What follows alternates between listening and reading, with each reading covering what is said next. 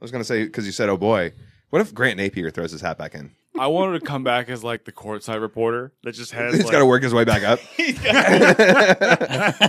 oh no, he's got to come back as the producer of his old show. I inter- I interviewed for an internship there, and I almost got it, but I needed to get I needed to go back to college to get like in their internship class for like an unpaid internship. internship yeah, too. it was Nice. ridiculous. Like I'm not paying to go back to college to go do an unpaid internship. That would have been so fucking awful. Because if you had any sort of thing, if you were doing anything that was fun, more than likely you were being screamed at by some just cunty New Yorker.